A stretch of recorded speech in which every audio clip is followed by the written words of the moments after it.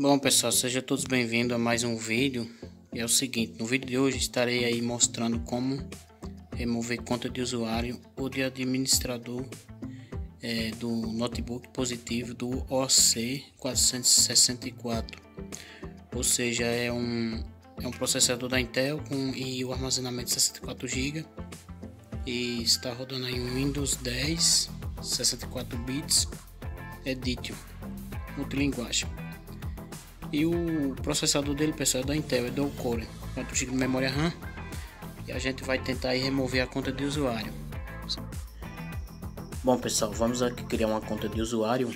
E essa conta de usuário terá login e senha. Nós vamos criar ela independente do de como vai ser, né? Nesse momento estou criando uma senha para essa conta como administrador é? E aí vamos aí criando ela. Perceba que eu criei, né, pessoal, a conta de usuário. E agora vamos fazer a inicialização do sistema.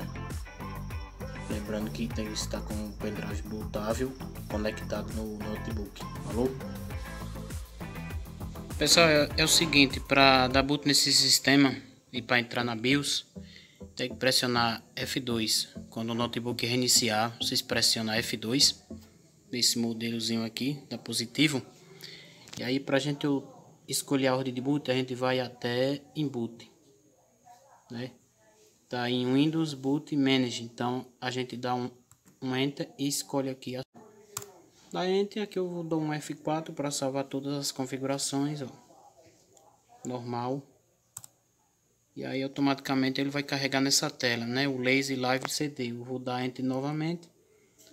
Ele vai carregar os arquivos necessários para fazer a remoção da conta de usuário.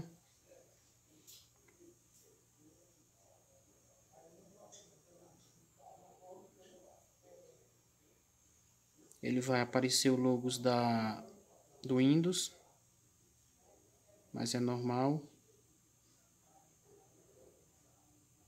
Esperamos um pouco. Ele vai carregar essa tela aqui normal. Mas aí eu vou... Aqui tem quatro opções, ó. Percebam.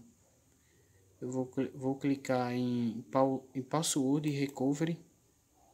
Aqui eu vou clicar em Next.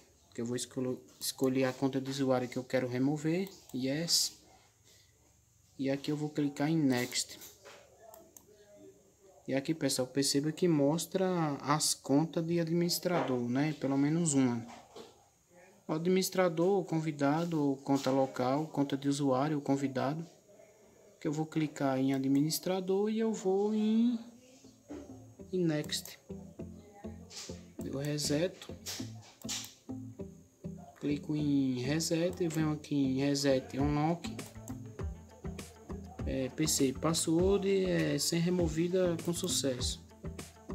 Clico em finais e agora eu vou dar um reboot, um reboot system, o sistema.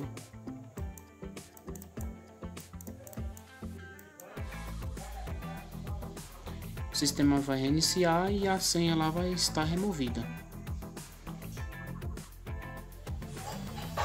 Eu tiro o pendrive que eu esqueci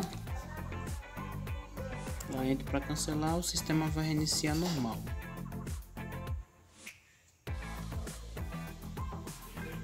Aí pessoal, quando a gente remove a senha do administrador, ele já já entrou o, o, o sistema já reinicia, reinicia ou inicializa normal, normalmente.